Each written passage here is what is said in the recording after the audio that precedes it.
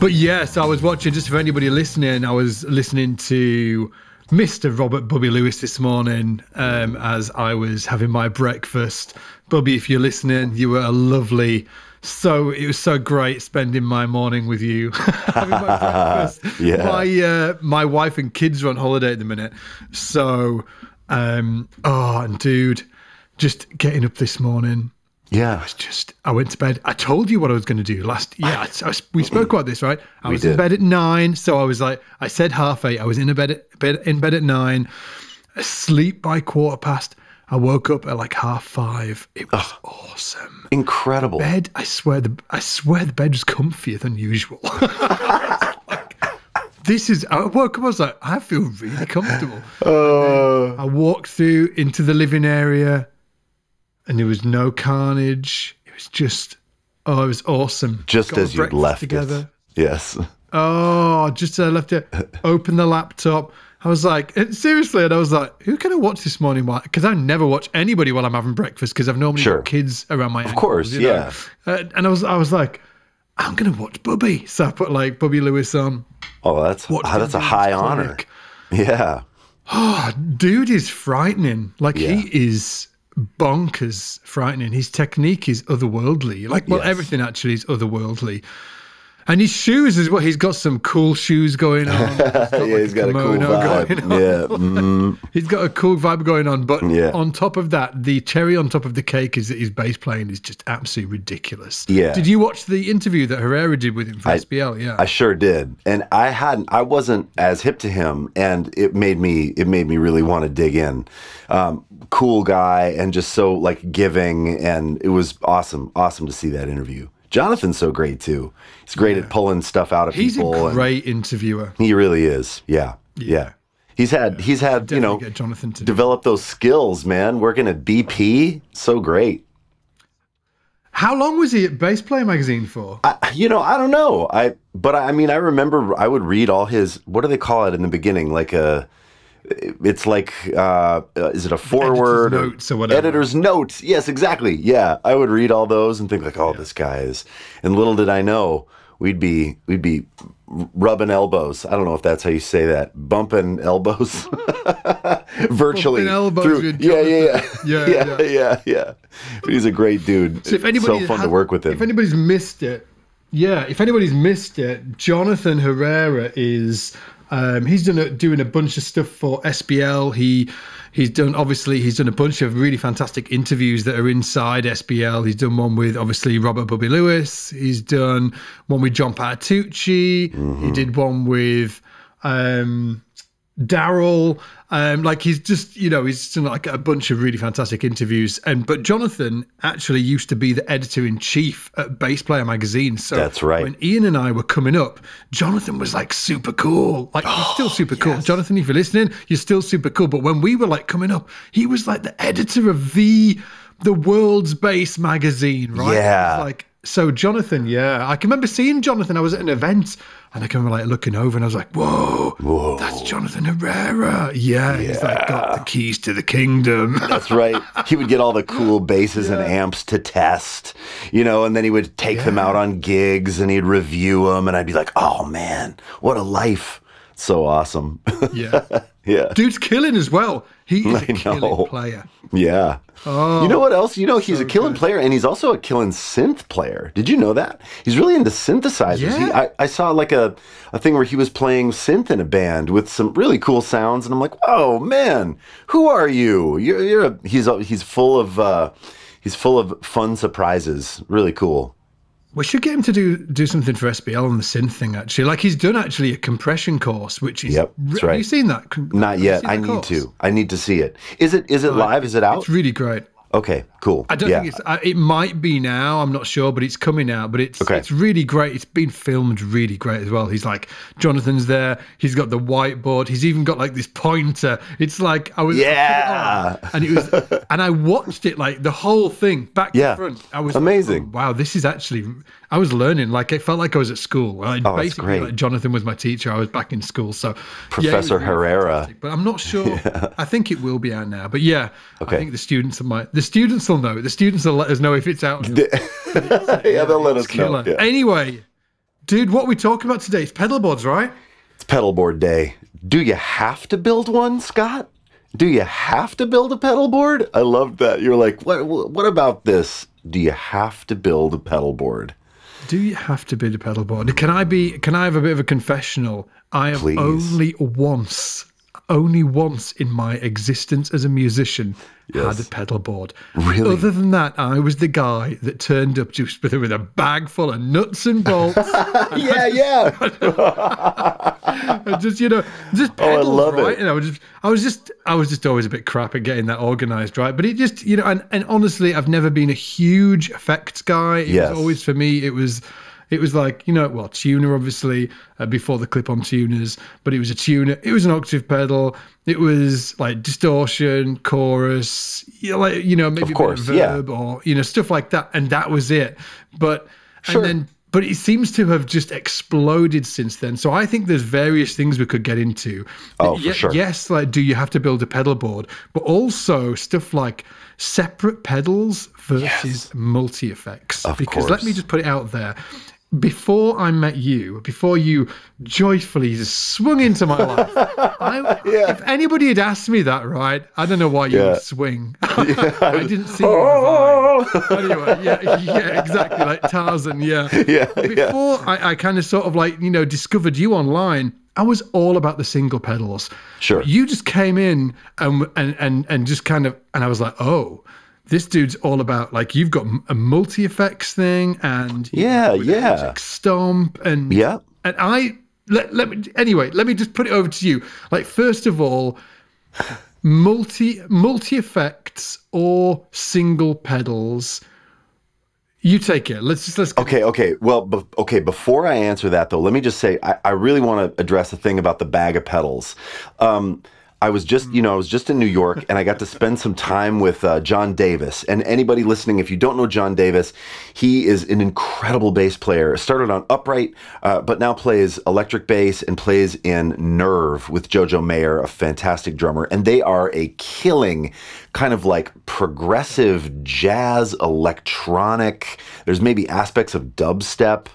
Um, oh man, and he was a Dude, huge he's influence. got he's got a course yes, that's right. coming to SBL That- that's right. That's right. yeah yeah yeah he was asking he said do you know when this course is coming out i said i don't know but maybe I'll, I'll try to find out for you but he's really excited about it yeah so if anybody wants to know about the synth bass thing on electric bass he really was a big big player for me in terms of of validating like oh you can do this but the reason I bring him up right now about pedal boards is he has this incredible, amazing pedal board that I got to plug into. But in the beginning, he walked into a nerve rehearsal like he got the call he had to sub for it he walked in and jojo mayer brought in a duffel of pedals.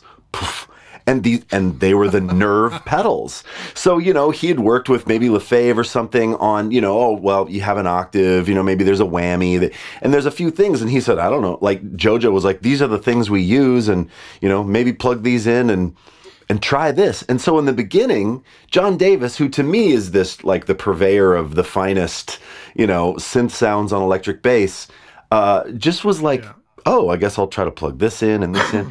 And so so I don't want to discourage anyone like, oh, well, you have to build a pedal board. It's a process. It starts with, I wonder what this thing does. Right? I mean, you know, and like for you, I love that idea of like, instead of like, well, I'm going to build this rig, well, maybe you have a situation where you have a few things and you find out what you like first. So the bag of pedals, the bag of nuts and bolts, as you call it, is not a bad thing. I mean, because everyone starts, um, you know, spoiler, of course you don't have to build a pedal board. It's really, do you want to build a pedal board, right?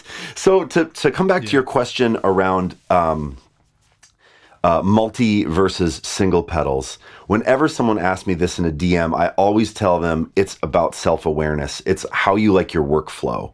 So I'm I'm weird. I have a I'm not I'm not weird. That's a dumb cop out word. I have a bunch of different things that I do uh, in Minneapolis, like gig wise, that sort of require, or I think require different sounds. So when I work with a particular singer songwriter and I want to do maybe like a baritone bass kind of sound and have spring reverb and tremolo, I have a setup for that. And then on a different preset, click, I have a thing that I do with a wedding band that has sounds in it for, you know, can't stop the feeling and you know eh, and and specific Yeah, yeah, synth yeah. sounds and that's that one. And then I have a thing that I use, you know, kind of my regular stuff that I use all the time and I have that set up in a different thing and maybe that has some overdrive and chorus. But the multi effects thing that you're asking about for me is the HX Stomp, um, and that's made by Line mm. Six. It's a great little um, computer, essentially in a box. Uh, and but I got to that as a result of single pedals. I think it's so easy to see someone's trajectory as like, oh, maybe they've always been multi effects guy.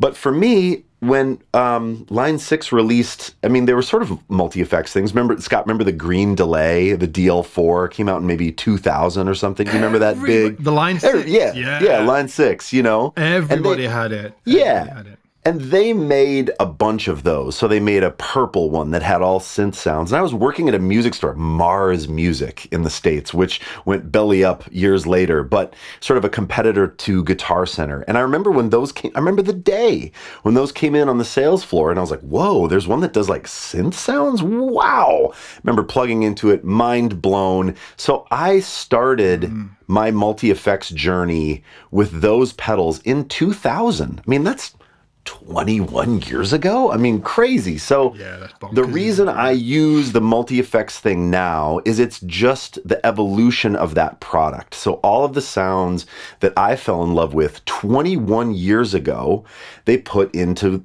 M series of pedals. If anyone listening remembers the M13, M9, M5, Yeah. I got way into those and sent it off to JHV3 to get modded with you know true bypass switches. I mean, I you know I went hard into that world, and then when that then when they started to release the Helix stuff, it was like, oh well, it's all the it's all of those pedals plus you know amp modeling if you want to, and it's smaller, and the foot switch functionality is amazing. I had come up organically through the all of those products for the past 20 years to make me feel comfortable about pulling the trigger on that little supercomputer.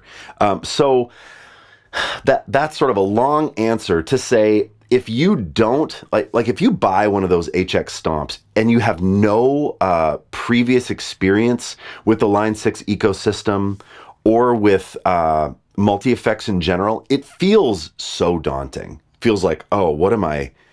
How do I even navigate is around exactly this what thing? people said to me. Yeah. Yes. In fact, Yeah. I did a live stream. I did a live stream last week, was it? And on the live stream, we were talking about. So I do a live stream um, for the, members bass hang, every right? single month, and we're Yeah. the bass hang. Yeah. So Yeah. we're on the on with all of the members.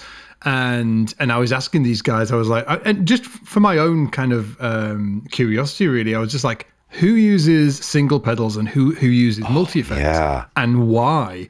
And mm. the majority of people, by far, the majority of people by far use single pedals. yes. And everybody that gave feedback on the actual live class was saying they don't use multi effects. And this was pretty much across the board because of Yep. overwhelm of using the product.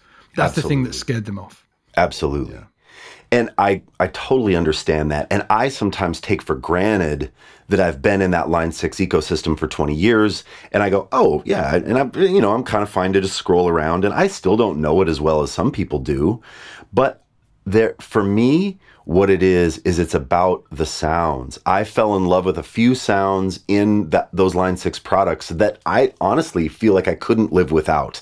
I'm, I mean, I'm sure I would get used to some other sounds, but there's a spring and a tremolo that I use all the time, and I love them. Uh, 63 spring, if anyone wants to know, an opto tremolo. I mean, just the things that I got used to, right? And then some synth sounds too in the purple FM4 that all those sounds are now uploaded into the Helix stuff too. And so for me, it's like, well, uh, I want to figure out how to use this technology because I like the sounds. So it's it's that thing we talked about, Scott, where you know when you were trying to figure out how to post to YouTube and you're in the internet cafe, you know, and you're talking about how like you know you're you're tech averse, right? And and the teacher way long ago was like, oh no, you know, divine on the computer again, and and maybe you've internalized some of that, but because you had a goal in mind of creating this thing, you were fine to step into that technology thing and just figure it out.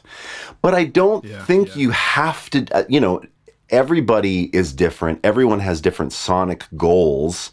And so, um, in terms of multi versus single pedals, it's just about workflow.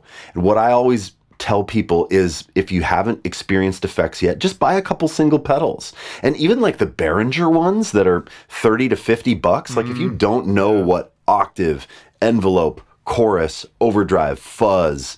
You could buy all of those pedals for very little money and then kind of see, like, oh, wow, I'm finding that I love this octave pedal, or like, oh, wow, I don't think I will ever use fuzz, you know, and then maybe Yeah. you kind of you start to have some opinions you start to learn um, you know like you you talked about scott it's like uh it's like learning this vocabulary learning how to craft sound is similar to learning how to use scales right? So you just have to kind of get in maybe buy some single pedals and then when you go, oh, I'm finding that I'm always using these things, wouldn't it be nice to have those consolidated in a small thing and I could have presets for the different artists I work for?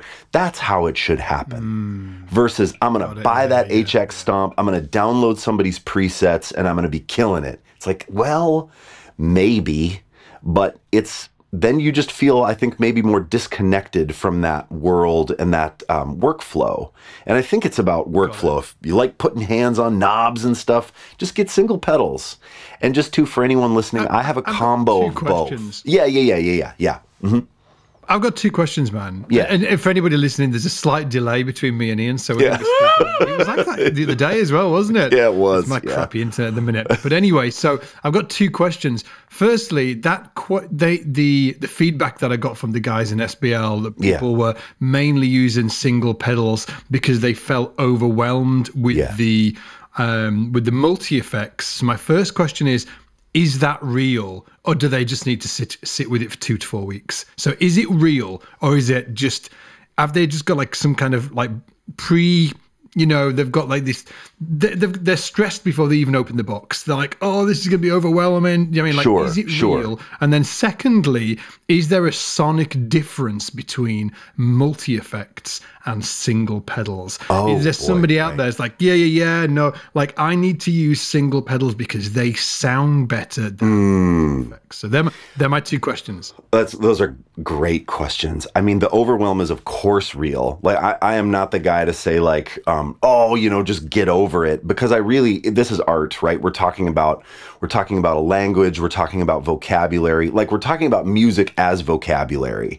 So it's about how you like to work. And what I think is amazing is when someone finds a unique way to work, that's always the thing that gets people excited about the sounds. Great example Tom Morello, guitar player for Rage Against the Machine, has oh, been so good. using, yeah, and he's been using the same pedals since 1990. right and and he hasn't changed anything he hasn't gone into the you know into the multi effects world and he has been able to innovate on those things. And whenever he feels like ah you know maybe i maybe i've kind of done all i can do he looks at his guitar and picks up you know maybe a, an allen wrench and sees oh what if i hit the strings with an allen wrench? How so he's really innovative in that like use what you have. And that is really um, compelling and interesting to me and it's interesting to everyone else too. So people then put that on people say oh i need the whammy pedal because of morello.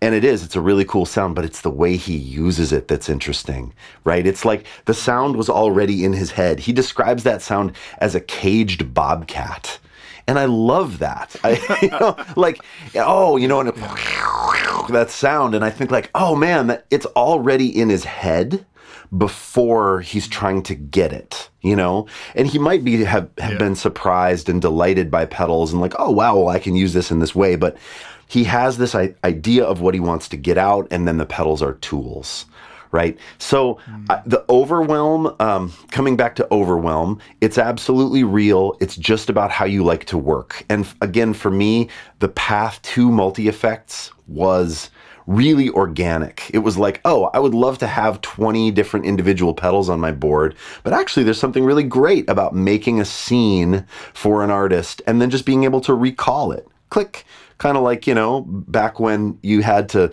take down every setting on every piece of gear in a studio to recall a mix.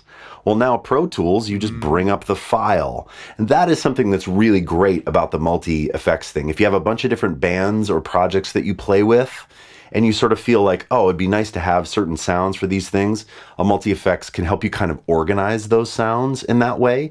But you just have to like it. You have to want to do that. I mean, I'm playing bass on a thing, kick on a, a patch, and think, oh, I wonder if when I get home, I should bring this down 0.5 dB. It seems to be a little too much over the top, you know, and that's something that you can then do in a hmm. multi effects. If if you're that level of nerdy like I am, where I'm always kind of analyzing, ooh, I wonder if the chorus could be a little wider. You know, I'm thinking that as I'm playing, ooh, and then I kind of make a mental note of like, oh yeah, I should I should pop in and make that change and then save that patch.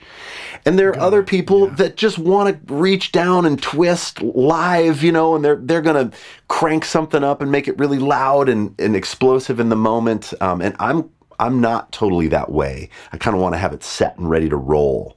Uh, but that's just sort of the music that I play. Oh, got it. You know? I get it. So, like, yeah. So, one of the reasons why people might want to have single pedals is if so they can alter stuff actually on the fly with Yeah. playing in. Yeah. I get it, yeah. Because again, just to just to um, say it just one more time, most most people, most bass Yeah. players are still using single effects. Even Yeah. like if you think about Lefebvre, single effects pedals. Yes. Jonathan Maron, who we both love. Not we also love Tim Lefebvre, but you know we're you know Yes. bro, broskies with both of them. Yeah. And um, but you know single pedals for Jonathan as well. Right. Um, somebody else that you might not have heard of, um, actually, who's in the multi effects camp is Yeah. Chris Hargreaves. so, do you know who Chris, Chris. Hargreaves is? No. He's a really fantastic bass player. He plays for a band called the Submotion Orchestra in Okay. in the UK, but he's also plays with like Dizzee Rascal and like a bunch Oh, of like massive Dizzee artists. Rascal. Yeah, he, you know, Benny Greb, the drummer. Of course. Yes. Right, so Benny Greb, so like when um, he had his trio, I think that Kit Downs was the he was a key he played key bass in Benny Greb's trio. Then Kit Downs left. Then Yannick Guizdala did a bunch of stuff with him. Then y- Yannick Guizdala, and then Chris Hargreaves started doing the um, Benny Greb's trio. He's actually a multi effects guy, so he was running like two M5s at some point. He was like using Line Six stuff last time I spoke Yep. to Chris. But um, yeah, so he's in that camp. So it's it's one of those things, isn't it, where it definitely some people seem to be really married to the single effects. Yes. And then some people like yourselves, Chris Hargreaves, are totally comfortable with um with the with the multi effects. Talking to Chris, like part of it was financial for him as well. He was like, dude, like it just costs like thousands of pounds to get all of the single pedals. And he said, I can get this one box. It costs me like 500 bucks or whatever it is. And it's all in the box. Like, Right. do you think that's a part of it as well? Oh, for sure. I definitely do. And, and and when you're kind of curious about things where you're like, I maybe want to use a flanger for this tune, and I- I don't know that I want to spend, you know, $150 to get a dedicated flanger and then get cables to route it into your board and right? Like it's a way to sort of taste things and go ooh. I mean you know it, it can cause option anxiety right? You're like because well now i have everything it's like netflix. You know you just spend time cycling through the sounds going wow that's neat. You know? So you do have to have an yeah, idea of what you want. But if you're like wow i wonder I wonder, I'd love to use a big, huge reverb on a thing, but I don't really know. I don't want to go buy a big Strymon reverb pedal. It's a great way to taste things and have um, and have a bunch of things at your fingertips without having to pull the trigger on all those individual boxes. And I want to say too, Scott, to your second question. I live in both worlds. So on my little board, um, I have uh, that, you know, HX Stomp, but I also have other single pedals because I feel that there There are are some single pedals as well. guys. yeah, absolutely. So I think there are a few things for me that I just don't think the multi effects does as well, or they're things that are really important. So, for instance, I plug into a big Origin compressor and I love it. And the compressors in the HX are fine, but I'm so used to the big compressor. I change it all the time. I like to see the big analog meter. It just gives me comfort. now, Could Yeah, I yeah. make a patch that sounds pretty close? I definitely could. But I like it. I like the functionality. Again, I like grabbing the knobs in the studio and going, "Oh, this needs a, you know, I need more sustain on this on this part, so I'm going to crank the compressor up." And so that I have as a single pedal. I also have the octave pedal that Spencer Doran makes for Three Leaf, which uh, he made in conjunction with Tim Lefebvre, called the I think it's just called the Octave. Um, and it's wonderful. It's wonderful. I'm used to it. I love the sound. The octave sound in the HX doesn't do it for me. It's fine, but whenever I use it, uh, I miss that particular box, right? And then I have a fuzz, like a low gain fuzz that I use a ton called a Doom 2 that Spencer from Three Leaf also makes. And it's amazing, and there's nothing close to it in the HX. So those three things, I have a comp, um, uh, an octave and then kind of this low gain fuzz situation that those things if i have covered in external pedals then everything else that the line 6 does is perfect for me then i'm, I'm, I'm fine with its choruses its delays its you know anything that I, else that i may want to use as long as i kind of have those uh, individual things covered first so i'm kind of in both games Got it. yeah Do you use? Are you using the distortions within the HX Stomp as well? Yeah, I there's a there is a drive uh, called Teemah that's modeled after the Timmy drive that you can blend into a parallel path, and so then you have some clean bass running, so you've got a little low end and you have some grit on the top, and it's incredible. I actually prefer it to a bunch of standalone, uh, you know, drives that I've used. I use it all the time, um, you know, and part of it is just that I'm used to it. But part of it is that uh, I really love the functionality, and I feel like I can get in and there's a saturation for the low end. So if you saturate all of the low end, it almost sounds like a fuzz or like a real dirty Led Zeppelin-y rock and rolly thing. But then if you unsaturate the bottom end, it gets tighter and sounds maybe more sort of like modern metal. It's so versatile. Uh, so yeah, I love. I, I love that sound. There's also a fuzz called the Clawthorn inside the HX that is just incredibly flexible and big and nasty. Uh, so I've I've found some things that I love and that I work with all the time that are inside of that thing. Yeah. So, would it be fair to say then that it's not like a there's not a huge sonic difference between standalone pedals and a multi effects, but there's there's just different sounds. As in, like you can get a bunch of great sounds out of a multi effects, but you might not be able to get all of the sounds, and therefore you might want to call on single pedals as well. Yeah, and if you just what what happened to me is I just got used to some things. I got used to the way a certain compressor worked and sounded. I got used to the way a certain octave pedal sounded. Now, if I would have got that multi effects thing first, I may have found something in there and then I wouldn't have bothered, right? It's just sort of about it it really is about self-awareness and what you like and what you get used to and how you want to work. But intrinsically, yeah, it's not like, oh, the multi-effects sounds are so much better or are so much worse. You can't think about it like that. It's just that they're different. The octave pedal is based on the EBS. For instance, the octave sound inside of the HX based on the EBS octave, which is great, but it's just very clean. It's a very like clean, uh, warm, big sound. Whereas the octave that I'm used to using is more sort of synthy. It's grittier. It's square wavier. It sounds more like maybe the bottom end of a Moog or something. And that's just a, a, a sound that I gravitate toward. But if you came up on the EBS, um, that that sound you might love that octave sound inside the HX, right? So it's just about how. And if you're right now, if you're listening, going. I have no allegiance to any kind of octave sound. just just get one, get a standalone or get the multi, uh, you know, and and you start using it and uh, and making art with it. Uh, it it really doesn't matter until you start to develop taste around those things.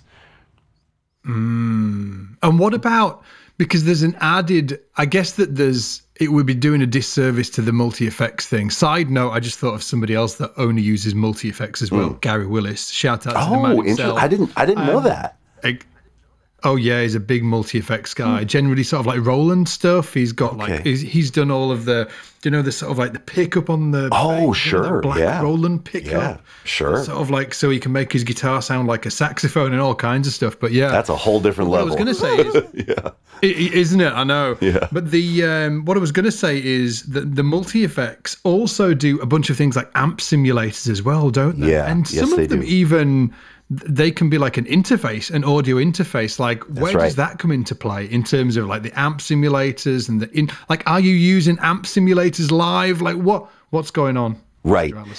I will say I will say this. I am overwhelmed by the amp simulator stuff. So when people talk about pedal overwhelm, um, or like, oh man, like like Jacob Umansky, for instance, who is has done some stuff with SBL, incredible player. He uses the Neural DSP. I think it's called the Quad Core, and mm-hmm. that unit.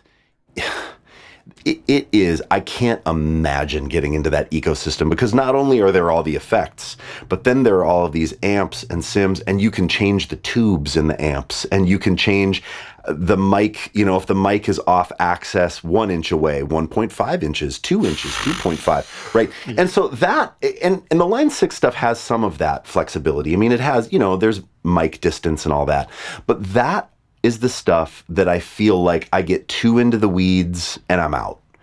So I only ever use the amp sim stuff if I'm recording something that needs a real sonic footprint. I never use the amp sim stuff live ever um, because I feel like all of this stuff kind of happens to the low end where there's either some kind of like weird low mid bumps that happen or some you know when you use the svt the real real uh, subby low end kind of gets rolled off because you're running into this cabinet simulator and i just am like ah i want a flat I, I like the sound of a di i want to know that my bass is just like it's more about like my Yeah, comfort yeah. zone um, but that said i have like when i've gone into the studio there's like a rock project that i recorded with and I have a T-Bird. And so I got the T-Bird pulled up an SVT kind of found some sounds that I'm like oh yeah this feels like a rock and roll modern rock thing.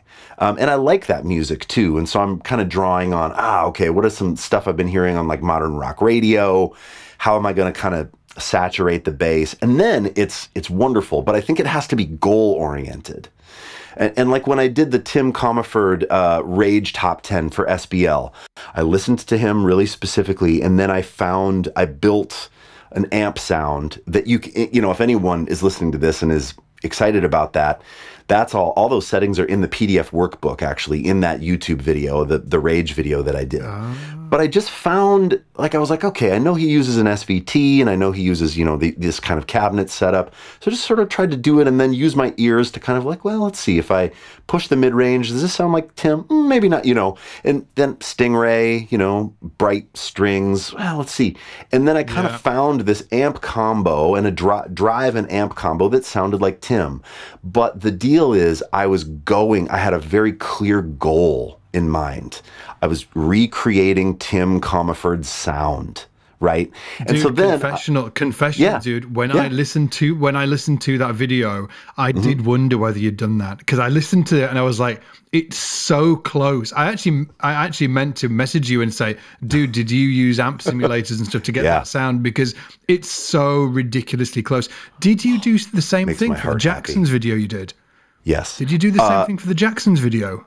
I did. I used that. I tried to get kind of like a clean, wide, open sounding B15. Dude, and so- so close. Oh, thanks, man. Thank you so much. I mean, So that stuff is my heart. Like, that stuff is truly my heart. And the one, I think the one that I'm most proud of is the Geddy one. I did moving pictures for SBL, and I really, really spent a lot of time trying to get close to that. But, but I'm not, uh, I'm not like, using that stuff all of the time for the things that I do. I'm I use the cabinets and all that stuff when I'm trying to create something that is a very targeted goal. Just like I wonder, like are you always using certain jazz vocabulary or are you only using that jazz vocabulary when you have a certain musical target in mind? Right? Like you're probably not playing minor or like uh, melodic minor licks over an R&B tune unless there's a specific fill that you want to push outside of the box. It's a tool, right? Yeah. And to me, the the cab amp stuff is very similar. It's like to achieve a desired effect. I would never use that stuff all the time and have it on all the time. It's like Michael League has a great quote about effects where he says, I only want to use an effect if it would be musically irresponsible not to do so. like, you know, here comes a break in a snarky tune and it needs to go boom, boom, boom, boom, boom, boom, boom, boom.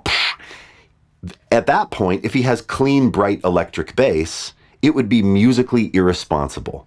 He wants to step on the pedal to make the vibe happen, right? And oh, he's so good. he's so good, dude. Oh, and if anyone listening, um, if you've never checked out Reverb, did a um, a pedal kind of overview with Mike League where he talks about how he uses pedals, and he's a standalone guy. He uses just you know all individual pedals, but it's what's interesting is not the pedals, it's not the models, it's not even the sounds he makes, it's why he makes them.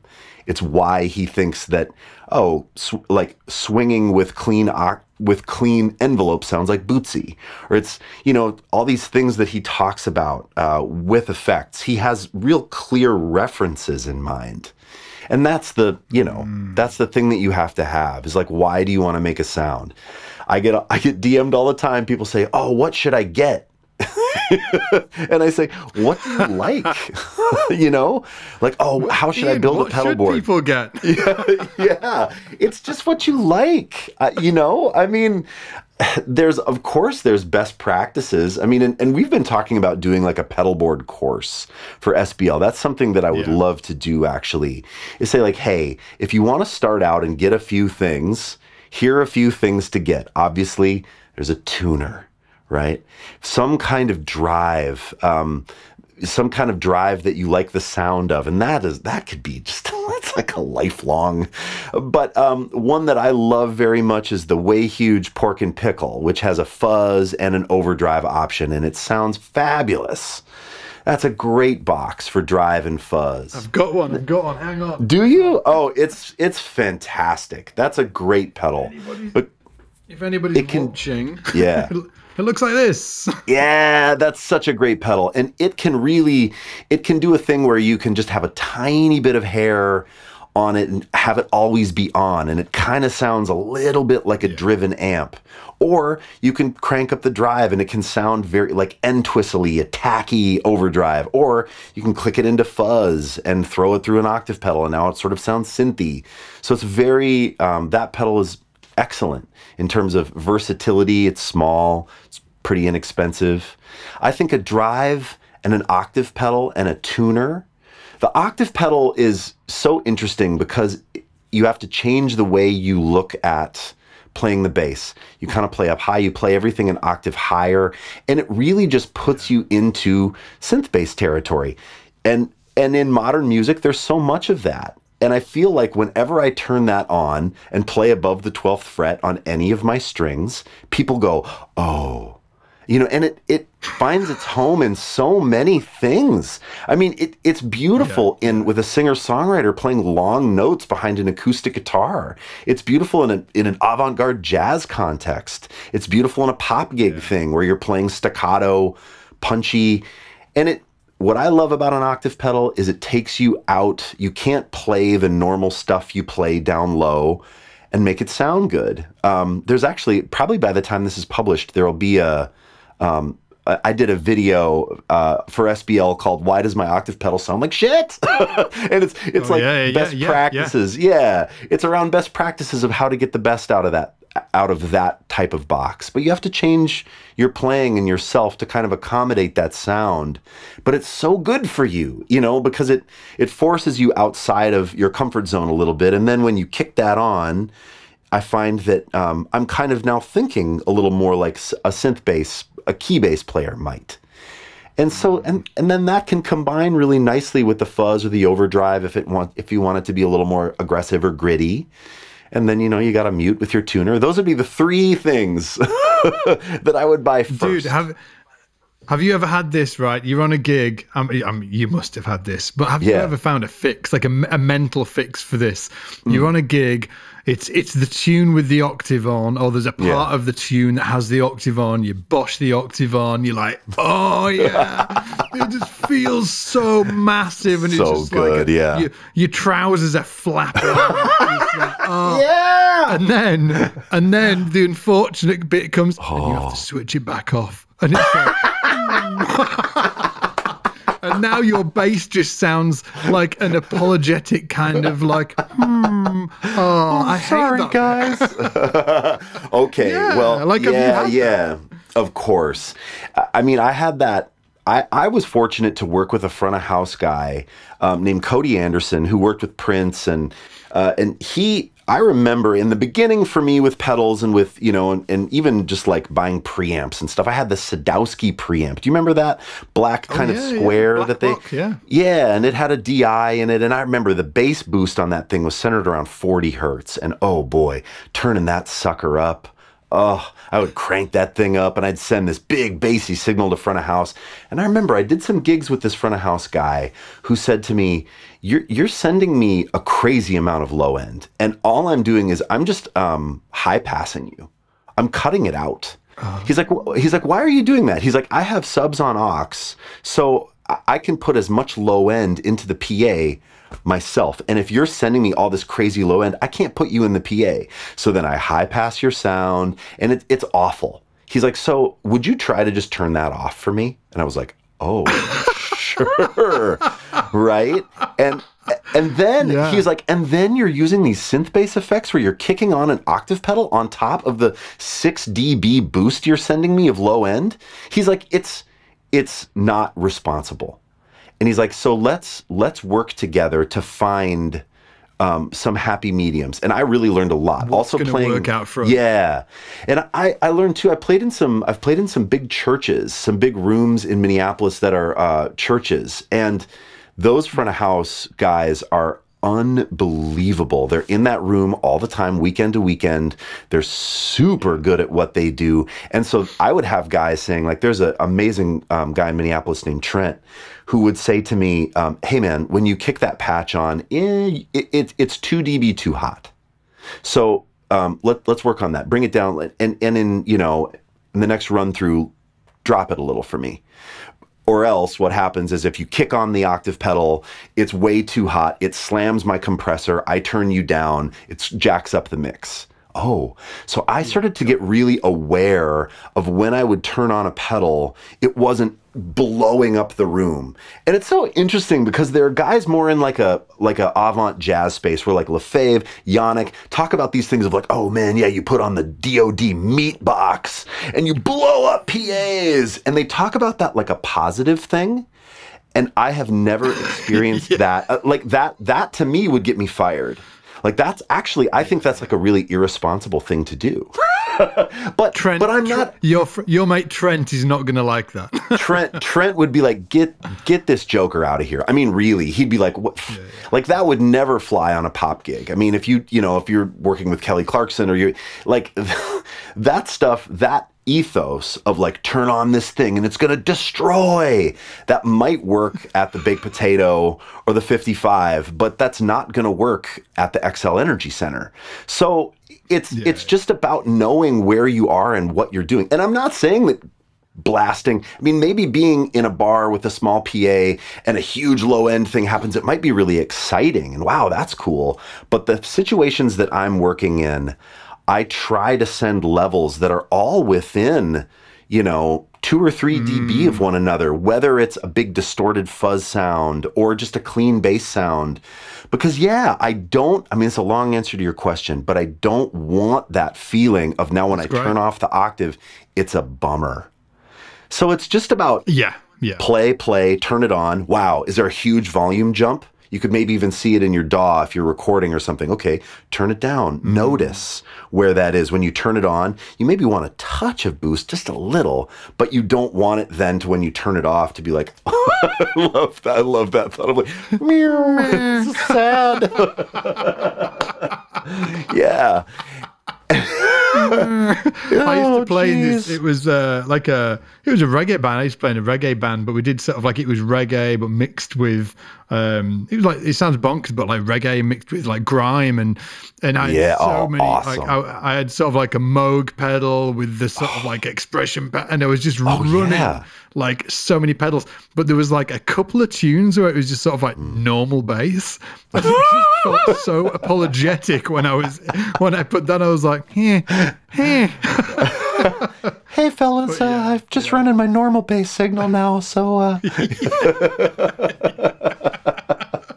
yeah, yeah. Oh, good day. I feel that. Well, but but I mean, so yeah, I've I've talked a lot here. I mean, ab- about the things that I do and, and like, and I would I would be so curious to know too, like your pedal journey, how you feel about standalone versus multi effects. And I mean, I had no idea that you played in a reggae grime band. That's incredible. I mean, like, yeah. what have what have been your experiences? Because I know too that you've told us that like ah, you know, you're you're never thinking about pedals or sounds first. You're thinking more maybe about lines, um, technique. Yeah. Uh, you're you're thinking um, notes and and like your approach to crafting a line before maybe you're thinking about sounds. And I'm just curious, like where where do you feel like you're at, kind of in that journey at this point?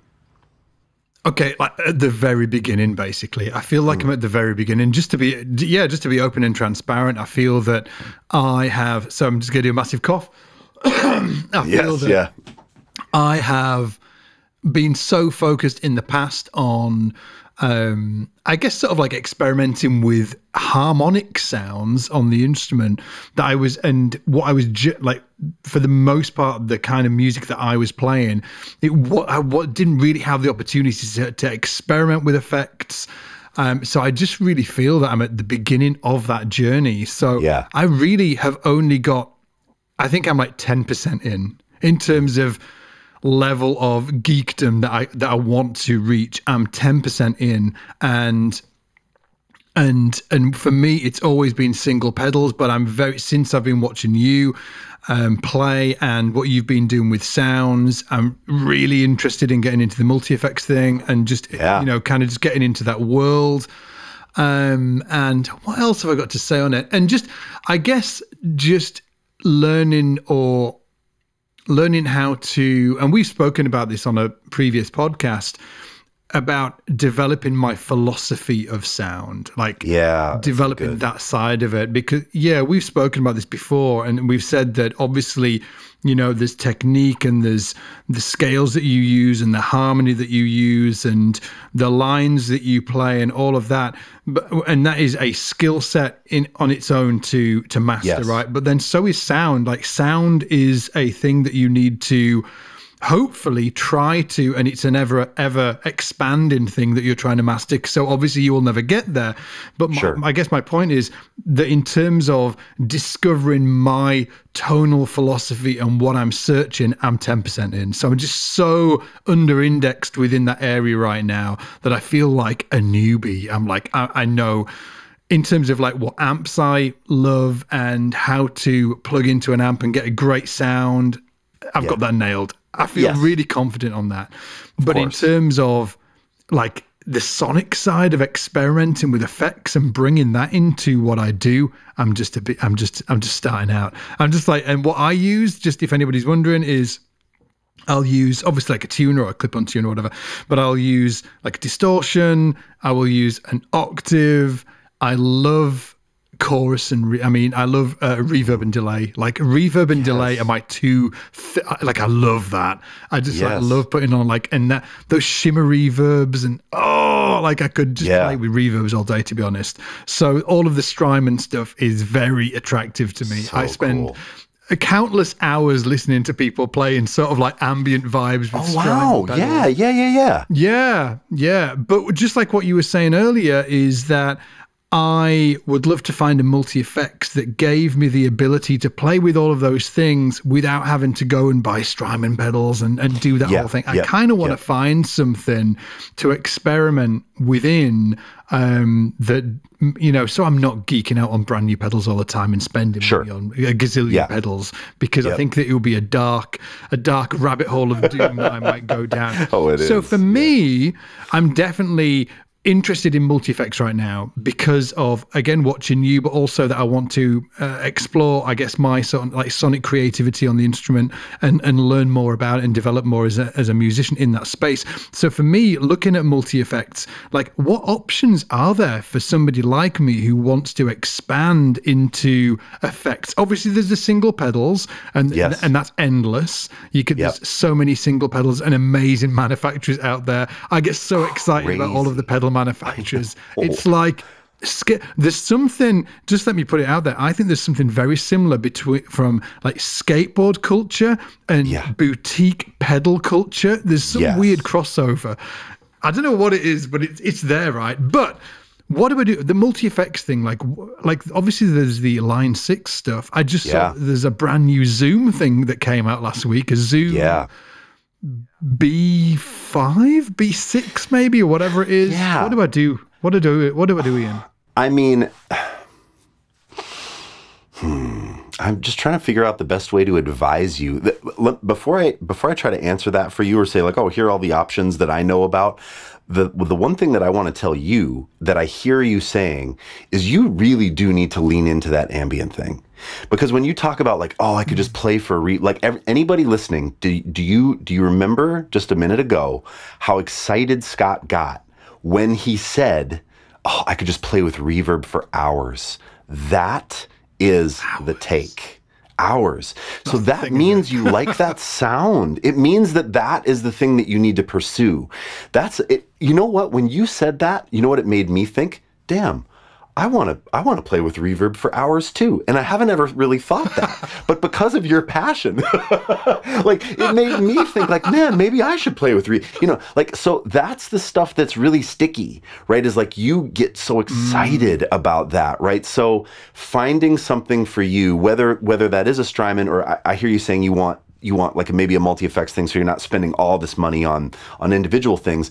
But finding some long reverb tails and like really just digging in and then you know um, setting it up and where where you can play that stuff and then turn it off and then play other lines while the tail is still hanging over and then turn it on to play a thing up that. high and Yeah. yeah. Um, so I think I think for you, what, what I would recommend is the thing that I use. Uh, it's, it's the Line Six stuff. Uh, primarily for for two reasons. They've just updated uh, all of the reverb settings in there, so they're they're going after the people that like the the Flint, the Big Sky. Oh, what's the other big Strymon verb? Um, but but they're going after people that like those sounds and want those in a maybe a multi effect situation. And then there's the switching in it is so amazing. So you can, for instance, you could assign one of your foot switches to be momentary, meaning that when you step on it, it turns on the reverb. And then when you lift your foot off, it turns it off. So maybe you're playing bass and then you want to go up high and play a passage with reverb and you step on it, you play the passage, then you lift your foot off and the trails continue over the thing that you play. It's just so um, flexible, the things that you can do. Or, of course, you can just turn on a reverb and play. But the way then that you can integrate that into your setup live is is amazing. One, one other, just a quick uh, pitch for the Line Six, and I'm not affiliated. I just need everyone to know, like Line Six has never approached me. I, I feel like I have helped them sell a lot of pedals, and they have never. If anybody is, if anybody from Line Six is what listening to this, get your shit together. get your shit together and give Ian a shout. Yeah, yeah. Like uh, there's a the, a Miley Cyrus tune. You remember that song "Party in the USA"? Scott, do you know that song? Yeah, yeah, by Miley yeah, yeah, Cyrus. yeah. The bass line does this amazing octave jump. Wow, wow. And you know you can set up a switch on the HX to be momentary, so when you step on it, it triggers an octave up rise, and then you release it and it comes back down. So you can use just the stomp switches like a whammy pedal. You can use them to do anything. Wow. And that's really fun. It takes a little bit of programming, but not a ton. Um, and so that's that's what I know. So that's what I recommend. Um, but that said, there are other platforms out there. Um, And, there and there's yeah. various there's various line six things though, right? So there's the Yeah. HX, like what is available of the line six stuff? What is there? Oh, I mean, there are sort of like more prosumer things I think of, like like the Pod Go, where and they're marketed more to guitar players, where it's like you kind of have everything in one thing, and there's even a foot pedal that can be a wah or a volume. Those things have never really appealed to me um, because I kind of use the HX Stomp, which is the smallest one that they make, the smallest multi effects that they make. I use that integrated hmm. into other pedals, as I've said before. But like if you fall in love with that platform, you can buy a Helix. And what that is, is a big floorboard that has the pedal on it. You can route four channels so you can send dirty left and right stereo and then a sub channel down the middle. And I mean, if, if programming, you know, and there are people those seem to find their home like in metal projects like people that are really into playing it. heavy heavy sounds are kind of maybe in that zone and like billy sheehan uses a helix now i think exclusively Oh, is, is it. in that uh, and maybe that's not true but i know that he has and they've modeled some things after his old Pearce preamp and Yeah. And then even within the HX stuff, there are a few things. There's a thing called the HX Effects that is a bigger one that has more display options, but it only has the effects and not the amps inside. It's interesting. I mean, I have a friend who has one of those Yeah, because he doesn't yeah. care at all about the amp models, but he wants more switching flexibility. Um, so, boy, it is, it's deep. they, they just made another thing called the Stomp XL, which is, you know, um, wider but shorter, and it kind of, uh, it has more uh, flexibility for switching, and and it also has all of the amps and uh, effect sounds in it. But it's a little bigger, right? So if you have a big pedal board, or you know, maybe that would be great. I think it's. Uh, Geez, I mean, it, it's so hard for me to say like, oh yeah, here's what you should get, because it just sort of yeah. depends on on what you need. Uh, but if someone was like, okay, just if if you could recommend one multi effects thing, what would it be? I think the HX Stomp is probably the best product that Line 6 has ever made up to this point. It's small, it's the most powerful thing I've ever used. Um, the tuner in it's great. All the sounds in it are great. Uh, it even has an impedance. Like when you plug into it, it senses the impedance of your instrument and provides you the most open, sort of like cable sound. It's amazing. It it's amazing. That feature alone is worth money to me. I mean, and, and no one ever talks about that stuff. So um, I think that product is the best product they've ever made, um, and I and I love it very much. I think I could probably just do anything. I could probably make all of my sounds just in that and get rid of all my other standalone things and kind of like, well, the octave is close and the compressors are close, but Got you know it. those Yeah, yeah, those yeah, things I I do like. Um, but yeah, I think I don't know anything about Zoom. I don't really know anything about the Boss multi effects. I, I've never spent any time with Fractal with Axe-Fx. I've never spent any time with Neural DSP, but a lot of people love that. You know, it just kind of Yeah, depends on yeah, how, yeah. like, what you like the vibe of. I mean, you know, like the artists that are representing those companies, and you know, do you do you resonate with any of that stuff? Um, but it's hard to say like, oh yeah, this thing is going to solve all the problems for every player. It's it's it's very hard to prescribe something like that. Yeah, absolutely. I think that uh, like an interesting thing that we probably won't be able to answer as well because of you haven't had experience with all of those multi effects is I wonder if some of them are just easier to use than others. They're just hmm. more accessible. Like I can remember Chris Hargreaves that I was speaking about. I can remember him think I think it was the M5 that he used, hmm. which was the the old Line Six thing. Hmm. And I can remember him saying they're really great because it's kind of just like single pedals, but in Yeah. a box. Yep, He said so. yep. It, it's it's really like, and I'm I might be butchering it, but it was something like that. He said it's really simple. It's just single pedals, but just in a multi effects box. Yeah, yeah. He really resonated with that. So is that what the HX Stomp's like, or is Is there's that a not li- what a HX there- Stomp's like? It, it is, but, but it's sort of like a logical progression. Uh, it, it's a little more computery than the M stuff. If anyone has ever had any experience with that M5, M9, M13, it was kind of like okay, that started as like all of those colored stomp boxes from the early 2000s the purple one, the green one, the, those are now all in one thing. And they were all color coded. Oh, wow, well, I'm on the green stomp. And so that means I'm using delays. And now the HX stuff has all of those sounds, but if you don't like the look of a green stomp, you can change it to pink. or you can you know you know like there's just there's more flexibility. But that said boy those m the m5 m9 the m13 was really big and kind of unwieldy to me but the m5 was just one you could only use one sound at a time but it had a bunch of sounds that's cool. The M9 you could use I think 3 sounds at a time. Wow, that's that's cool. That's a little more simple. And now with the HXY you can use 8 sounds at a time. Okay. But you only have certain foot switches and so it becomes a little more convoluted, but the architecture of how it's built is still the same. There's just more options. So again, for me it was this logical progression from I used all the colored boxes, then I used the the M stuff, and then because I'd used those things, the HX stomp was like, "Oh, there's a little more programming, but but it's not bad. I, I oh I see I, I see how Yeah, I have to yeah, push these yeah. two buttons to access this thing. I mean, you know, if if you're not adverse to to learning a, a bit of a learning curve around a pedal, it, it's wonderful. But if you are, th- that that's okay. Then you can stay with individual pedals or or buy like even an old M9. I mean, they're great. They're great. So it it's just about how you like to work. And I would love too, Scott, to talk about like um, even this thing, the question that we're asking in this podcast: Do I have to build a pedal board?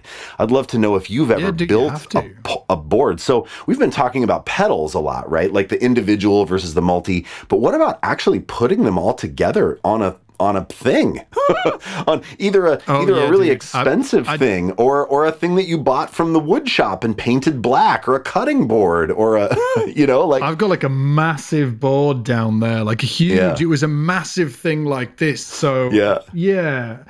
It's maybe I'm looking at it now. It's maybe like two and a half feet long. I think it was like a gator made it or something like that. yeah, So sure, yep, yep. Two and a half. foot- And it's when I was playing in that band, and I had to have the board because I just had so many pedals on it, and it would have just been yes. unruly brute to turn up to a gig and have to like plug all that stuff in. And it was so complex. We were running like we were splitting the signal so i was just i had two i had one pedal that was just sending sub so i was just sending sub straight to the desk and then Yes. and then another signal went into all of the other pedals and Yes. like it was a whole Yeah. that's so the reason why i had to have that pedal board is just because it would have been lunacy not to. I couldn't Yeah. have turned up with a, all of that in a bag because I would have just been like, "Oh, what's going in where and which." It was just so Oh, complex. yeah. So that's that's the time that I got my shit together and had to have a board. But other than that, I haven't, in general, had a pedal board, which I, fi- I do feel guilty about. Don't feel guilty. Um, Don't feel guilty. just- guilty. I feel a little guilty turning up with my, my bag of nuts, nuts and bolts. Yeah. But um, yeah, like what, what do you think? Do people have to build a pedal board? Is there a benefit to building a, a pedal board other than the other than being able to turn up and because obviously you want to be as pro if you're doing gigs and stuff, you you want to be you want to come across as pro, right? Yeah, And you don't yep. really want to be the guy with sort of like eight pedals all swimming around on stage and you forget to put a patch in and it's like, oh no, something's broken and then Yes, it's not yes, really yes. broken. So there's obviously there's that side to it, right? Yes. So f- fr- from sort of like a pro, being a pro kind of angle, you do kind of want a pedal board. So if we're talking about Hurley, like Sean Hurley, of course he's got a pedal board. John Yeah. Button, of course he's got a pedal board. Sure, You, sure. of course you have a pedal board because you Sure. turn up to the studio, you bring your pedal board out, everything, all of the work's done beforehand, and you Yes. are not a numpty trying to plug all of it together in front of the engineer and the artist, and they're like, "Oh shit, we made a mistake. We should have hired the other guy." Hold on. Numpty, please. This is a brand new word to me. Let's have a little. Oh, yeah, Yeah, numpty. Scandinavian British slang. I feel like I need to like push a thing and like like whenever there's a, a word you say, I need I want a soundbite that's like, hold on, let's uncover that British slang word. Like there needs to be a jingle. numpty. Do you know a friend of mine the other day? He was like, he was like, oh, this dude was such a tree pig. I was like, a tree pig? What's a tree pig? He was like, who knows, dude? But it sounds good. I was like, I'm gonna use that tree pig. tree pig, and it's great. Yeah, I have an idea of what a numpty is. Yeah, it's an idiot, right? Yeah, and, and numpty yeah. is just an idiot. Yeah, Yeah. just an, an idiot. I mean, you know, um, yeah. So, so you hit it right, right away. Like you, if you ever have played live.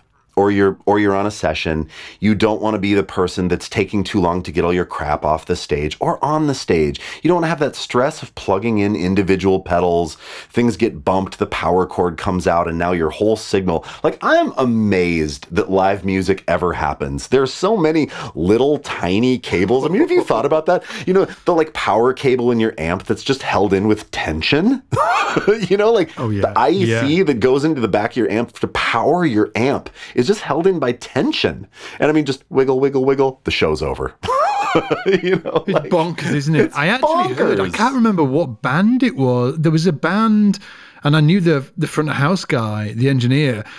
Oh man, I it was like a big band. Anyway, Yeah. so and you might have heard of stuff like this before. The entire show was to cl- was to click, right? So the entire show was to click, Yeah. and they actually ran. They'd recorded the show live. And they ran sort of like a B version of the show Sure. as they were performing. So if anything went down, like with the vocal mic or whatever, they could they had a B version running at the same time. They could just Right. click that on. Nobody's going to know anything. All's It's good. amazing. So, yeah. It's amazing. Yeah, there are a lot of pop groups that do that, that run like, especially if you're running tracks, running like a redundant rig so that if the tracks go down that have all the BVs and have all the, you know, all the keys in it or whatever, it just immediately switches to this other computer. Yeah, I mean, Yeah. yes. So I think I think a pedal board is a great way to mitigate disaster. You know, it's a great way to have all your stuff organized so that all you need to do is plug in power, plug in input, plug in output. You're good to go. Um, I had a funny thing. I grew up in a band, in this rock band, and so I made this giant pedal board. You know, probably like you, Scott, where like I had this big thing that was all band oriented, right? It was like for my band. And that's awesome. Like in your 20s, you know, you should have an aircraft carrier pedal board. That's amazing, you know, because it it helps you learn. But then what happened is that band, you know, we weren't doing as much anymore, but that was still my pedal board. And I started to work as a session musician, and I, I'll never forget getting hired by this great like deep cut kind of R&B band in Minneapolis. Turned up to the Dakota, which is a great jazz club in Minneapolis and pulled out this giant stupid pedal board, which I thought was amazing. But everybody on this gig, dude, there's a killing guitar player in this band named Blair Krivenik. And Blair, if you if you ever hear this, man, I'm so sorry that I was that guy because Blair is the dude, high strapped up telly, cable amplifier. You know, like amplifier up kind of loud, and then he's just using his volume knob and his tone knob. And when he takes a solo, he just pushes his volume pedal all the way up, and and just concept Nails it, yeah. just Yeah. crushes. And I'm the asshole with the aircraft carrier pedal board that is, you know. So I had this real, this real like, oh, I can't be that guy. I was embarrassed, you know. And then I'm, and then I'm saying things like, oh, don't worry, guys, I'm not going to use any of these pedals on the gig, but this is the pedal board that I have that has my DI and tuner, you know. And they're like, well. All right, man. But here, let me I, I let me just do this because I think I think it would be cool. Um, Do man. Do it. I know that if you're if you're not watching the podcast, uh, this this is going to be useless to you. But but for those of you that are watching, let me just show you this pedal board. So over time,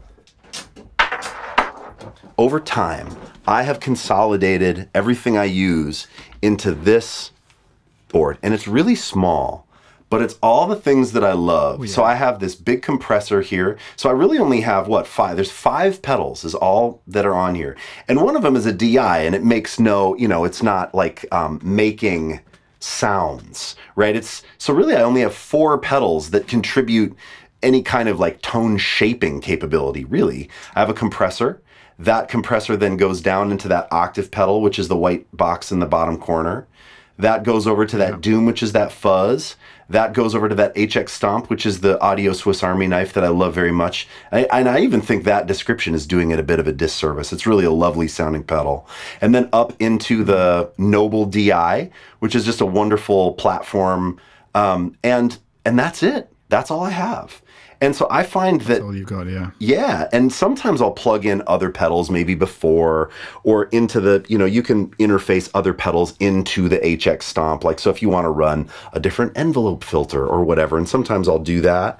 But I find that this, these five things on this very small little board are the things that I use for probably 98% of what I do. And then it's just all ready to go. It's not too big. I can I can walk into any session and no one's like, oh geez, here's you know big pedal board guy, or I can play any gig. I can fly with it, you know. Um, and it's and then when I uh, when I come home from a gig, I pop it on top of my studio desk, so it lives right next. So I'm arm's reach. I'm not using my feet when I'm at home. I'm you know adjusting the yeah. you know knobs with my fingers, and it's right at kind of table height and it's amazing. This any if anyone wants to know, I record everything that I do for artists through this board. Everything that I do for SBL runs through this board somehow. I mean, I'm not using all the sounds all the time, but you know, the Noble Yeah. DI is always in play. The compressor is typically in play, um, and and I just love it. And it's the benefit to doing something like this and and really being choosy and building something where you're like, yep, here's the limiting the size is really I think important and saying, here's the size. So what can I get that's going to fit into this? Really forcing you into some kind of constraints and making choices. And then it's always set up. You're never tearing it down. Right? And maybe you're what have you swapping something out. Okay, so this is a board. Yeah. Yeah. this is a board by a company now defunct, which is so sad, called Salvage Audio. But it's but it's this beautiful wood box, and then it has input and output in it too. So you know the DI plugs into here on the side, and then um, yeah, see there's power and and a power got it, switch yeah. on the side. And so input and output are on the side. So I actually never plug into a pedal because inside of this pedal board, everything is routed into connectors. So, you know, when I plug into the pedal board, I plug into the side of literally the side of the board. And so then hmm. Jacks are never coming in and out of pedals. Nothing is ever going to come unplugged. You know, you're not wearing out the inputs of your pedals by constantly, you know, unplugging and plugging and throwing them in a in a bag. It's pretty. I mean, you know, knock on wood, but it's it's been very consistent in that regard. Got like it, when I show up, And you always run you run through everything as well, so it's going through all of the pedals all at the same time. Because I know there's some some guys actually they've got like a direct signal and then they bring things into that signal, if that makes sense. Yes, yeah, you'll run maybe kind of a switcher that I, I think if I had more stuff, again, the compressor is always on, and then there are just three pedals that all have really nice bypass. So I'm I'm never feeling like, oh no, there's you know tone suck or something. But if I were running yeah. 20 different pedals by you know boss and Fulltone and you know it, all different brands and different styles of things then i'd be like ooh i should probably get these into some kind of you know like true bypass switcher but i just don't for for this size of board i don't think that's necessary You can't hear any sort of like uh, sort of like you know like loss of tone or whatever if you do that. Yeah. No, I well, I mean, with these pedals in particular, I just think it they make it better. Honestly, like the the buffer inside of this compressor is incredible. Even when you, even when the comp isn't on, I like the sound of the bass into this first, regardless. like, Yeah, I, you know, even if I'm not using the comp, I think the buffer in here and the transformer, it's like plugging into a really really nice studio preamp. And so then that signal feeds everything else, and it's just it's gravy. Um, so yeah, that's that's my little simple setup, and you know I talk about it. If anyone else you know wants more info on that, I talk about it a little bit on Insta, and and I'd love to do you know we're talking about doing some kind of like effects course maybe uh, with SBL too. So you know hopefully that'll be coming Yeah. in the future. Yeah. Oh, dude, we need to do that. We need to do that. I'm racking my brains if I've we've missed any questions that I should be asking you, and I'm and I say asking you because you are the the effects aficionado. I mean, the effects dude. Um, yeah. Hmm, I, like, should I have asked? Is there anything that jumps to mind that I should have asked? That Sure. people will be like, no, you missed off this absolutely, you know, must-have question. Um, I, I do get asked a lot about signal chain, like what order to do things. Like, you know, so people will say, like, oh, I, I bought all these things and oh my God, how do I hook them up? Right. Um, and I think that's a pretty simple, for me, it's pretty simple. Um, I if if you have a compressor, I think that goes first. Provides a really nice, strong, even signal to other pedals. Some people disagree. Some people put it as a as a mitigator at the end of a chain. So if you kick on something really wily and insane, the compressor kind of keeps it closed down. But it, but again, I really try to get my levels set so that's never happening. So I compress first. Then you go into anything that's kind of um, pitch shifting. So an octave pedal, or if you have any kind of, you know, whammy pedal, anything that's a pitch shifter, it needs to see a clean signal in order to shift correctly. So com- compressor, octave. Then I go into any gain stage. If I have a drive or a fuzz, that always comes directly after octave. And then I would go if uh, a multi effects. If you have a multi effects, I think that's at the end. Um, but if you don't have a multi effects after the after the gain stage, I like to go into any kind of maybe envelope filter. If there's anything that you're using that's kind of funky or envelope filtery, that's great. And then at the end of everything, uh, I think modulation and reverb and delays, all that stuff comes at the end, be- because you want the delay to be. Uh, you want like the fuzz to be feeding the delay, so the delay has the You fuzz want to catch sound everything, in it. yeah. Yes. But Yeah. again, it just it it really does depend on what you're going after, but I think that is a really good first place to start. Compression if you're using it. And again, you don't have to use any of these things. Compression into pitch shifting like an octave, into gain devices, overdrive and fuzz, into envelope, then into um, modulation like chorus, uh, delay, flange, and then maybe reverb at the end. And then I run into a DI that sends all of those all of those terrible choices that I've made to, or hopefully not, hopefully good choices I've made to to the recording desk or you know. Um, yeah, that that's typically what I do. And you mentioned something really interesting as well just earlier. You said that you've got your compressor on all the time.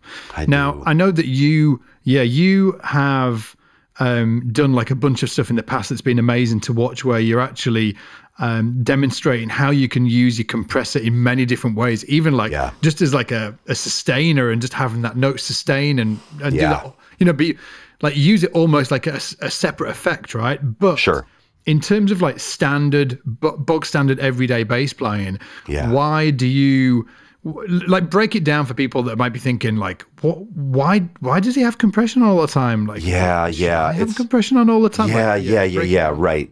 Okay, I I got really into compressors when I was recording. I uh, did a bunch of recording, and there was an, a great bass player in Minneapolis named Aaron Fabrini, who is a genius, and he he had purchased all these amazing big studio compressors, and he just said something to me once where he was like, "Man, have you ever played through a great compressor? It's just intoxicating." And I'm like, "Why?" He's like, "Because it brings all of the nuance of what you're doing to the top." And I thought, "Wow, that's interesting." So what I do, um, it it really does it really does show uh, the either the good things or the bad things about your playing. So if your technique isn't clean or your muting isn't clean, a compressor is sort of like ooh, it sort of like highlights that stuff. But if it's clean, ooh, it brings up all this nuance. Here's here's how I use a compressor always. It's always a blend of a compressed signal and a dry signal. I never use just a compressed signal, almost never.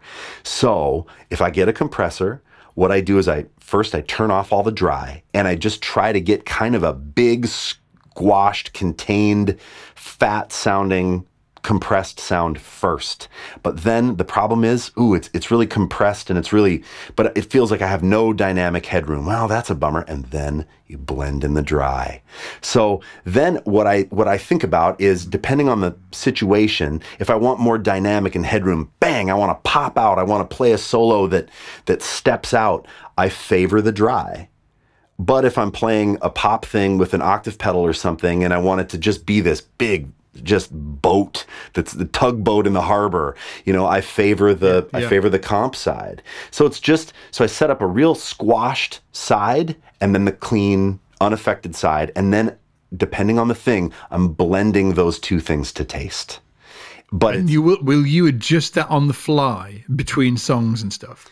No, never. I, I kind of just like I have an idea of like for this project probably like w- for instance when I play I play in a cover band and when I'm playing live I just want a little bit more um uh, uh, horsepower in dynamic. I want to be able to play really light and have it translate as light. And I want to be able to step out and have it translate that way. So I favor my dry signal more, but I still have the comp side in there a bit as well.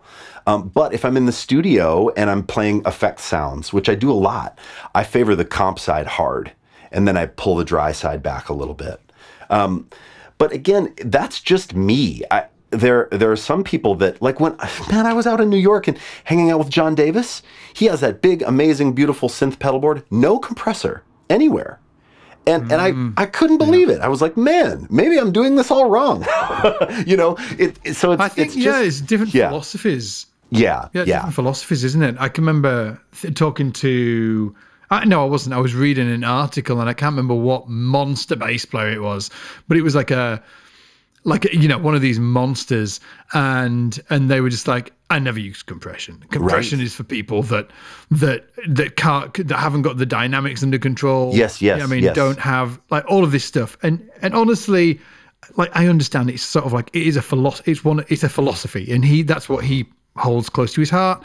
yes. For me, you know, I don't think that obviously if you go in any studio and work with any engineer, they can stick compression on on Yes. your tone, you know, so Yes. on on your tone, but on your signal. So I, I don't think it is as cut as dry, cut and dry as you either you cannot have compression or you must have compression. I think it it depends on what philosophy you have and what what you know what you what you're looking for. Well, and I wonder too if that was John Patitucci because I just watched a, a thing of um, his course where he says something about my goal when I started to be a side musician in New York. I think was to never be compressed, and I thought, you know what? My immediate first thought was, I hope I get to spend time in a room with you and let me set up a compressor for you, John Patitucci. that was my immediate wasn't, thought. It wasn't John. Yeah, it wasn't John Patitucci. But Okay, yeah. interestingly, John Davis was John Patitucci's student. So I Oh, yes, that's right. That's right. You yeah, know, I wonder if could that's be. sort of like yeah, right. kind of sort of filtered down. Yeah, maybe. Right. Because what I love, I, I never use it as a. Some people have this idea about compression as it's a problem solver, as it, oh, oh, if they need to pull out compression, uh oh, that means you don't have your shit together. I don't think of it that way. I think of it as a tone enhancer. For me, I play pretty light and pretty, try to play pretty consistently. Um, and I'm not smacking the bass a lot very often in what I do. So for me, a soft note with with a compressor that is sort of like pushing up the nuance, the texture of the note, the sustain of the note. Oh my god, then you can just play soft and you have this huge sound. And then if you want a little more yeah. horsepower in the in the uh, in your dynamic range, you just push up the dry. So for me, like I would love to be like John Patitucci. John, if you ever listen to this, let me see if I can bring compression into your life and not make it a bad word. Because because Mr. Patitucci, Yes. right now, it's a bad word. It's baggage for you. I would love the opportunity, John, to make it a good word. Dude, next year, when- next year when we're all in New York, it's gonna happen. It's gonna happen. Uh, yeah, yeah. Bring your compressor. You'll turn up with your pedal board. You'll be like, Just like right, right, Mister Hey, buddy. Come on, come on. yeah you know I, I think that that's a common thing you know of people that have been like in a studio situation and someone is clamped down. I mean there's compression can be done really poorly right? If you clamp a compressor and then every note that you play you have zero dynamic range and you're going god this is awful. If that is your experience of compression take my hand. I'm going to guide you to a different a different land where the compression Oh is man, we need to do some stuff on this. You need to do some videos on it as well, man. You really do. You really do. I think it's so Yeah, yeah. interesting, and I think that it's it can be uh, it can be really misunderstood, and I definitely have been misunderstood by it in the past. You know, like Sure. I read those articles and I was like, yeah, yeah, yeah, and then for me, the the way that I found compression was just completely by accident. I was Sure. on a gig. Um, I was playing over in Malaysia um, in a theater in a in the pit, right? So I'm in this pit, and it was like this this old old school Trace Elliot, and um, and it had like a compression on it, you know, built. I was like, oh, well, oh, compression, no, Yeah, I- yeah, yeah. You know, oh, d- dude, I was Give it like a in this pit go. for like six weeks. Yeah, I was Yeah. in this pit for six weeks playing the same stuff. I need something to experiment with. Yes, so I was yes. like, I'm going to kick on this compressor, see what it's like. And you know what? I actually preferred it. Just the the it just gave me like gave the tone an overall just like some kind of like just more fatness. It Yeah. just sort of like sat fatter in the mix, and I was like, Yeah. oh, I like it. So mm-hmm. I did mm-hmm. more of that gig with that. I did when I as soon as I switched that compressor on. I actually kept it on for the entire gig. So, and ever since then, I'm, I'm looking. I've got like the Cali 76 over there that I use all the time. Um, yeah, so I'm I'm into it, man. Yeah, man. Yeah, it's a cool. It can be a really cool thing if, especially too, if you have that big fat sitting sound, and then if you're going just, gosh, I, I just don't have dynamic range anymore. Then you just turn up the dry, and then man, life is good. I think that's a nice. It's a nice combo. Yeah, but I get all asked about that a lot too. pedal guys need to be yeah like loving on us this week and especially line six again before we wrap up this episode just want to say if anybody from line six is listening to this please please please please please message mr allison and give him some free pedals or something because he's probably sold hundreds for you I anyway mean, uh, dude yeah, yeah. Oh go on ian go on ian i don't want to cut you off Oh, I, no, that's fine. I was just gonna say, for me, what it is is it's it's it's less about like, oh, I want free stuff from anybody. It's I would love an opportunity to say, if you did this and this and this to your product, um, it would it would increase the usability of it. It would make people want to get rid of their some of their standalone things. I would love the opportunity to speak into Line 6's architecture around a couple of sounds. That's always how I feel of like, oh, I would love to talk to someone to to say like from my perspective, if you did these changes, it would be game changing for the bass community. And these manufacturers aren't always making changes for the bass community, but if there was a little bit of consideration there in the octave sound and a couple of the fuzz sounds, um, it, it would it would change. It would be a game changer. There would be bass players that, That- would that- ditch yeah. a bunch of things and just use that one product. Yeah. Well, that's interesting because the HX Stomp isn't actually a bass pedal, is it? It's sort of like just a multi effects unit for many different instruments, right? That's right. Mainly guitar That's and right. bass, obviously. Mainly but You can use it That's for other right. stuff. Yeah. And what's interesting is Zoom have released this, I think it's the Zoom B6 or something like that, or B8 or whatever it is. Yeah. It's not even in the shops yet anyway. And that is specifically for bass players. So maybe in the future, Line 6 will do something for bass players. It'll be. be. interesting looking at the fe- the feature set of the Zoom and what they've specifically done for bass players that might not have existed for guitar players. I'm assuming that they will have some kind of, you know, the, the Boss OC stuff in there. Like, Right. what would you, just to wrap up, what would you change or what would make the HX Stomp perfect for bass players? What's missing right now? If they were to take a look at the flavors of the moment and and make sure to always include some kind of recreation like everyone talks about the noble di they and the noble di is amazing. They need to model the noble di and have that as a preset. And even if it didn't sound as good or i mean you know or if it wasn't the same of course it wouldn't be the same they need to give that nod. That's the that's the way that they are going to signal that they're going that they're listening to the community. The fact that they don't have a noble preset the fact that they don't have an oc2 preset is insanity.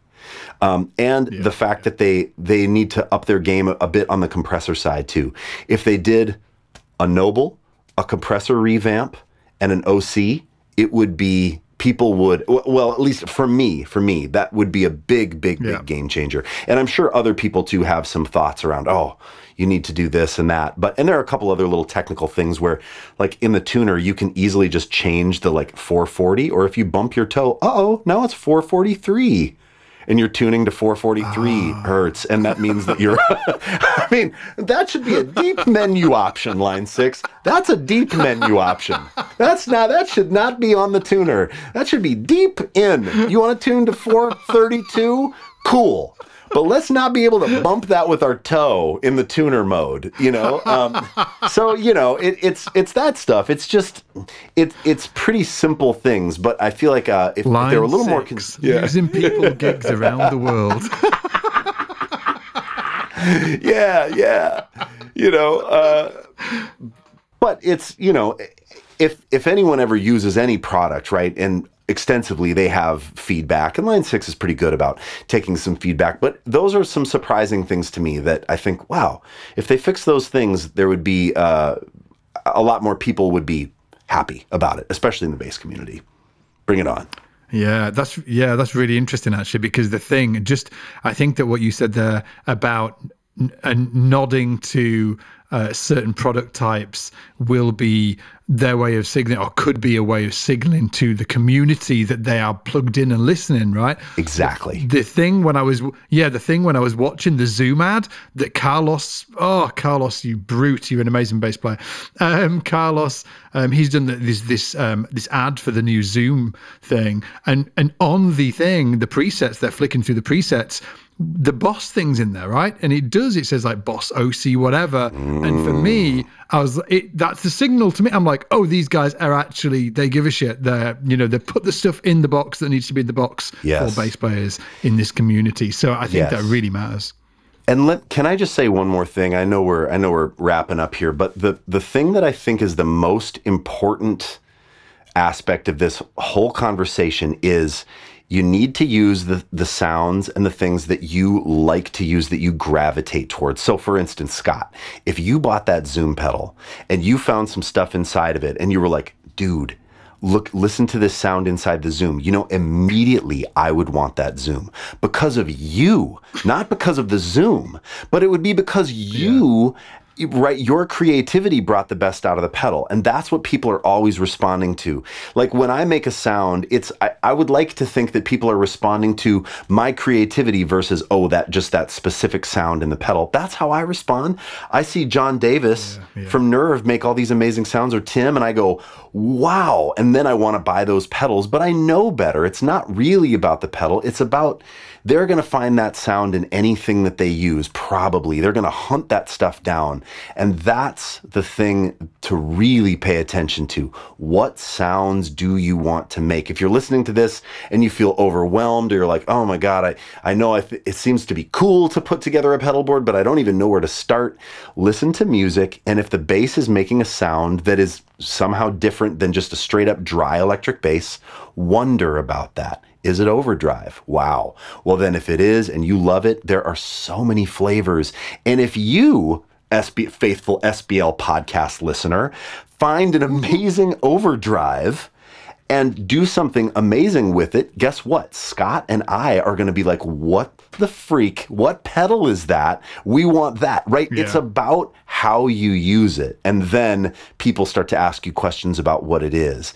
It's not, but it's typically what it is matters less than the thrust of like why you wanted to use it, what you listened to to make you want to make the sound, right? It's like like you said, Scott, everyone can buy a Nord keyboard, but not every keyboard player sounds the same, right?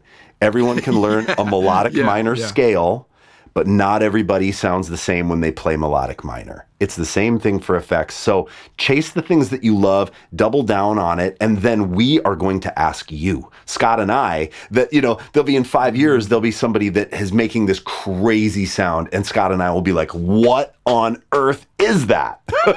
you know, and that's how that's how you that's how you become influential is following that following that bliss, following what you love and and doing it and then people start to ask you about your thing or what you're using um, the, the gear matters very little Absolutely, man. Dude, I just want to acknowledge your effects awesomeness on this episode. I have learned a huge amount. Hopefully, everybody else has dug it as well.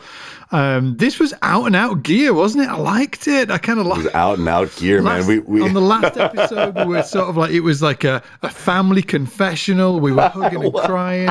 This one it's is true. Like, okay, we've got, we've got to cleanse ourselves and get back into the gear. hey, you're gonna get it all on the dude. SBL podcast. You really are. You're gonna get it Absolutely. all. Yeah. Absolutely. Dudes, if you've enjoyed the episode, obviously tell your bass friends about it or just musician friends if well maybe not maybe more bass bass friends for this episode. But um and go and leave us a review on iTunes if you're over there. If you listen to us on Spotify, I don't think you can leave us a review, but you know, keep tuning in anyway. Yes. And obviously we will see you we'll see you next week. Take it easy, dudes. Certainly will. Bye. Peace everybody.